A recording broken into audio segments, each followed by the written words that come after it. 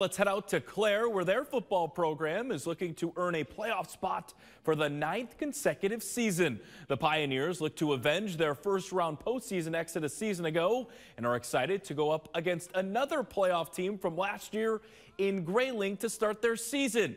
This Clare team is practicing with confidence as 20 seniors are returning. The Pioneers believe their experience can be a key to their success this season as the team wants to earn the program's first district title since 2012. Usually uh, at the start of the season, you have to review a little bit, even over the stuff that you put in the summertime. But these guys have really, really um, retained it a lot, um, and we were able to uh, really get going um, day one.